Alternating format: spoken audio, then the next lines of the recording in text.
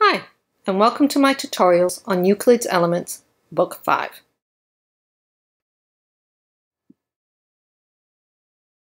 This video presentation is going to be on Proposition 13 of Book 5.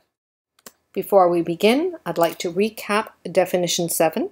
Now, Definition 7 defines what it means for one ratio to be larger than another.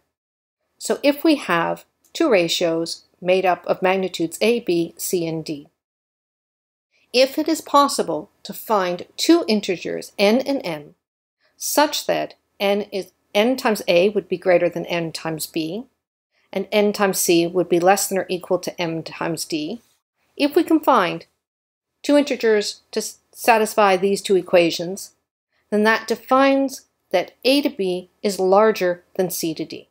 So again, this is a definition.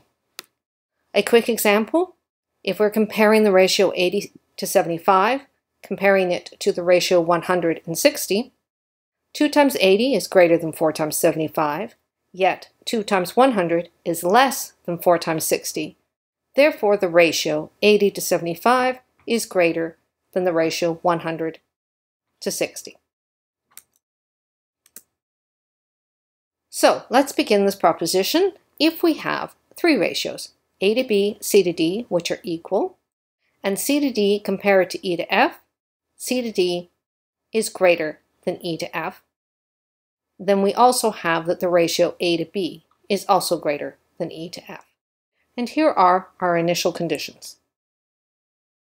Now because c to d is greater than e to f, then there exist two, num two numbers, two integers, such that if c and e have equal multiples and d and f have equal multiple, then m to c would be greater than n to d, and m of e would be less than n times f. These two conditions are true because of the definition of what it means for one ratio to be larger than the other, given the appropriate m and n. Well, let's assume that we found m and n.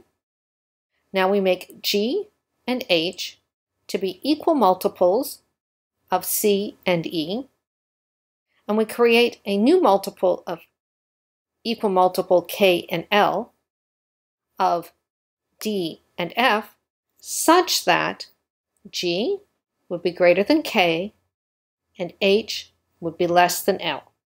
Now remember, this is doable because of the definition of C to D being greater than E to F.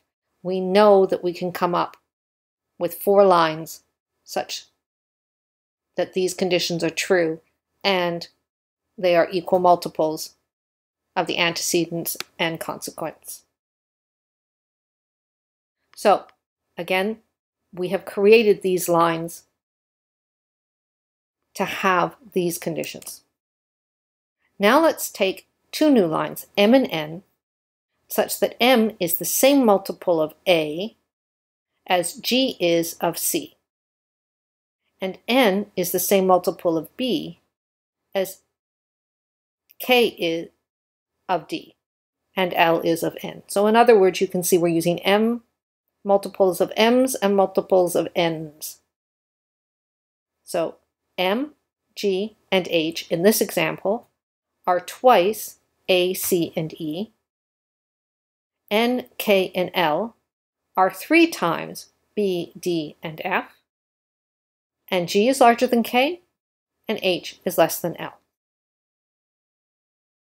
Well, AB is equal to CD.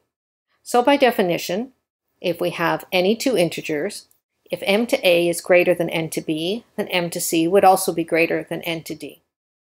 Now, since ma is equal to m and b is equal to n, so on and so forth, what we have is if m is greater than n, g is greater than k but we've drawn our lines such that g is greater than k. So if g is greater than k, that also means that m is greater than n. So now we have this condition we know to be true. m is greater than n. Well, m is ma, n is nb, h is me, and l is nf. So we have MA is greater than NB, ME is less than NF. Now these two conditions, according to the definition 7, if we have these two conditions, it means that the ratio of A to B is greater than E to F. So ultimately, long-winded, if A to B is equal to C to D, and C to D is greater than E to F, A to B is also greater than E to F.